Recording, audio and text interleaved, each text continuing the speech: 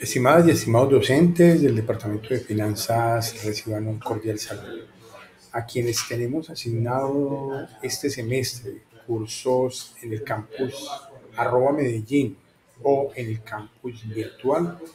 eh, queremos saludarlos desde la jefatura y el nombre propio desde el enlace de coordinación académica eh, y recordarles algunas fechas especiales. Pues la primera eh, tiene que ver con este 18 de mayo, mañana sábado, se vence el plazo para que los estudiantes hagan esa segunda evaluación a nuestros cursos y a nuestro desempeño como profesores. Eh, es importante como institución acreditada en alta calidad y como departamento que cuenta con una de las acreditaciones más antiguas en la ingeniería financiera y que en este momento se proyecta la contaduría pública hacia esa acreditación, eh, contar con la mayor participación de los estudiantes en este tipo de procesos. Entonces, enviarles un correo estimulándolos a que entren al CIA web y hagan esta evaluación de nuestros cursos. Eh, también esto, esto tiene fecha límite mañana sábado 18 de mayo. Eh, recordarles a los estudiantes que tienen hasta el 25 de mayo para las cancelaciones libres. Es importante que el estudiante comprenda pues, que el nivel de exigencia es alto, somos un departamento que necesita mantener estándares de calidad para cumplirle a los entes que nos acreditan en esa condición y que también em, se mantenga ese criterio de exigencia, pero que el impacto sobre los estudiantes eh, se mitigue a través de las decisiones oportunas, en este caso, si no han cumplido con sus deberes académicos, que puedan utilizar la vía de cancelación libre.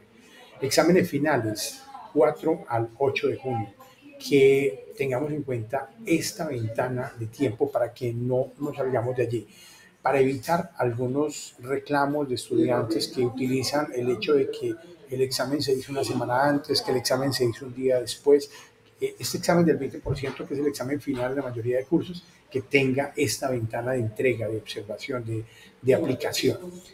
Fecha límite para el registro del 100% evaluado 14 de junio. Miren que la distancia es muy amplia, pero lo ideal sería que el 100% esté el 10 o 11 de junio para que quienes vayan a habilitar puedan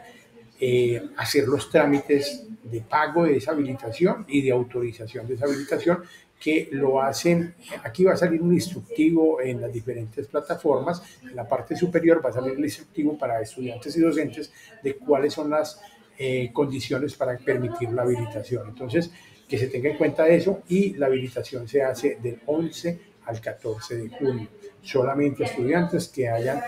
reprobado el curso con nota de 2.0 o superior. Eh, Fecha límite para el registro de habilitaciones, 18 de junio, y ya, bueno, viene el periodo de vacaciones. Quería también, pues, además de felicitarnos como docentes por nuestra labor, como lo ha hecho el ITM a través de diferentes medios, eh, invitarlos también a que vamos a saludar a este apoyo que tenemos en ChatGPT 4.0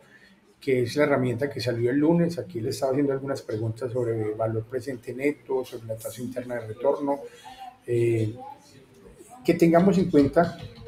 podrías mostrarme.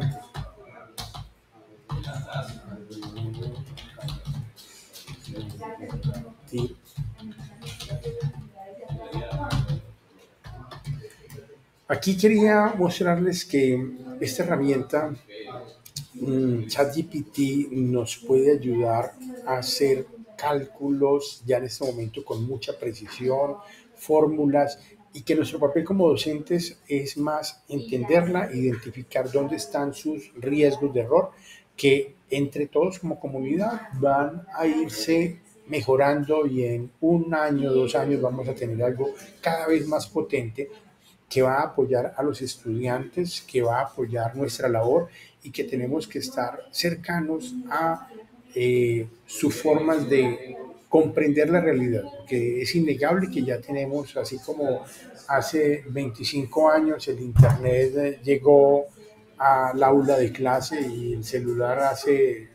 14, 15 años que comienzan estas pantallas amplias, pasamos del Nokia 1100 a este tipo de pantallas eh, generando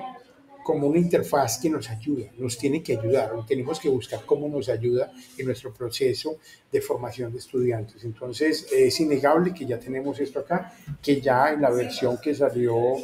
el lunes permite este 4. Eh, eh,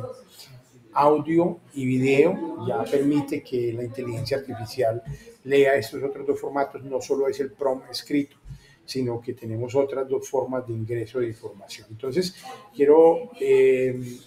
invitarlos a que exploren esto para semestres siguientes. Como profesores tenemos que estar eh, en constante interacción con este tipo de herramientas que son asesores realmente a cumplir el papel de asesor. El estudiante tiene que entender que la formación básica es fundamental para poder hacerle las preguntas adecuadas y para poder aplicar estos conocimientos eh, en interacción con una inteligencia artificial o para poderlos aplicar en el mundo eh, de la industria, en el mundo financiero, en el área contable, en el área financiera, eh, y que entendamos que en, como comunidad académica tenemos que explotar al máximo estos recursos. Entonces era lo que quería comentarles en este video. Espero que les vaya muy bien con este cierre de semestre y que disfruten siempre mucho su labor, que disfruten su actividad académica. Eh, coincidíamos con el jefe de departamento y con el decano en estos diálogos acerca de eh, tenemos que hacer que esta labor sea cada vez mucho más satisfactoria para nosotros y en esa medida se trasladará esa satisfacción a los estudiantes y construimos una comunidad académica mucho más integrada, una comunidad académica ITM con un reconocimiento que ya se empieza a notar eh, en los posgrados de otras universidades recibiendo a nuestros egresados de ingeniería financiera, en las publicaciones de docentes y estudiantes y egresados y en otra serie de indicadores que muestran la salud del programa y de este departamento en los asuntos académicos. Éxitos y que disfruten este cierre de semestre.